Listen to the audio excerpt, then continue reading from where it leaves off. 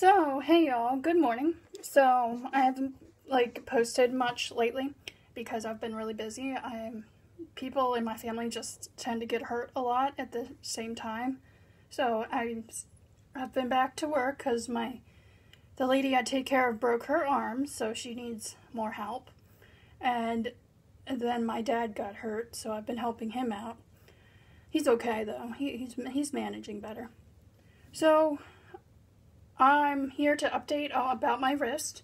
So a lot of people liked my my injuries videos on my leg cast back in October, November-ish.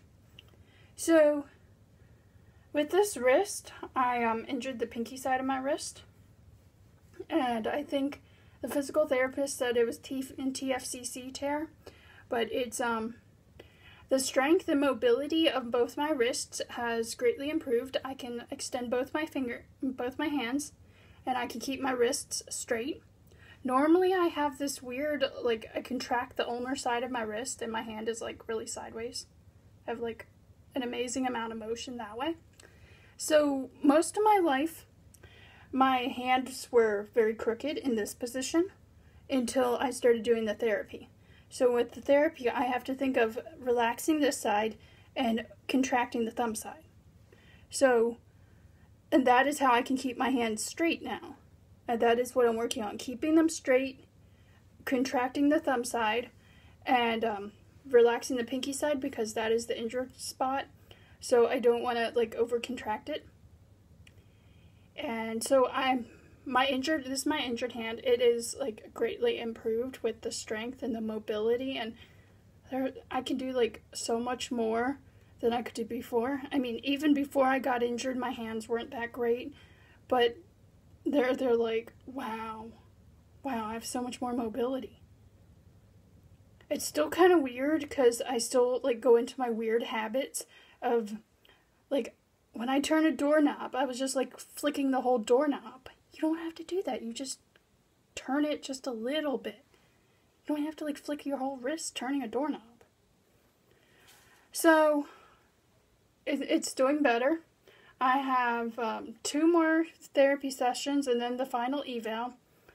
And the guy is um, trusting me enough to do the exercises at home, play it safe, and wear the brace. And I think by the end of September, it should probably be healed. So 12 weeks, and knowing when I screwed up my foot, it took me like forever. It took like nine, ten weeks. So, yeah, it's doing really well. So as long as I don't do stupid stuff to it, like last week I was trying to push a lawnmower around. Yeah, that that kind of screwed it up. So, ba- I, I I didn't have the brace on or anything, so I just put the brace back on. and Played it safe. Don't do anything stupid. So, I know if the pain doesn't go away, I should. Mm, I could see a specialist, but what's the specialist going to do? He might suggest more immobilization, surgery. We're in the middle of a pandemic. I'm not having surgery. Plus, I work as a caregiver for an elderly lady, and I need to, like, be able to take care of her. So, I really don't want to have surgery. I do not plan on having surgery at all because I don't want to have a big cast up to my elbow because this is this is this part is in charge of rotating your wrist it, and it's also the weight bearing part of your wrist. So you would end up with a cast all the way up your elbow. And I don't think I can manage like that. I'm, I'm never going to get anywhere.